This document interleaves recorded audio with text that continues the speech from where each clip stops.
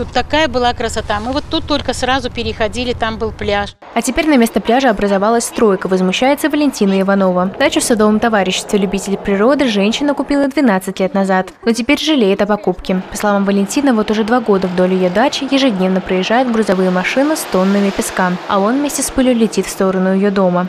Мы задыхаемся от пыли, от грязи, от этих КАМАЗов. Вот вы, вы представляете вот эту дорогу, которую я скидываю вот сюда, вот этот песок, я делаю это раза два-три в неделю. Мне, у меня возраст уже.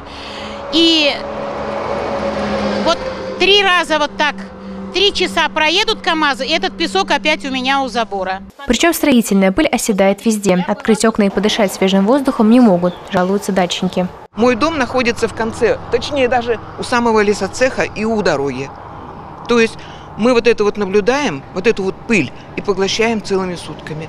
Если раньше они работали только днем, и э, суббота-воскресенье были у них выходные, то теперь они работают круглосуточно. А отсюда, значит, не открыть ни окно, ничего. Большегрузы в этом месте действительно ездят очень часто и на высокой скорости. Именно поэтому здесь стоит стол пыли. Но камера, к сожалению, этого настолько сильно не передает. Дышать здесь невозможно. Вся наша одежда покрылась строительной пылью, хотя находимся мы здесь всего полчаса. Чтобы решить данную ситуацию, дачники не раз обращались в администрацию города. Обращались дважды в исполком, Ответа так и не получили. Коллективное письмо от, от садоводов было э, с подписями. То есть э, каждый человек приходил, подписывался, отдавал я лично. Есть входящие письма. Ответов мы не получали.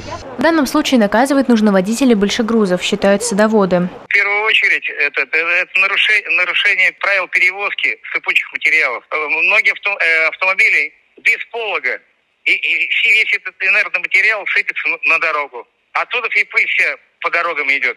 Это в первую очередь надо водителя наказывать. Ответственность за сложившуюся ситуацию должны нести водители грузовых машин, подытожил Виталий Быков. Христина Балабанова, Кирилл Хабзей, Новости Челно ТВ.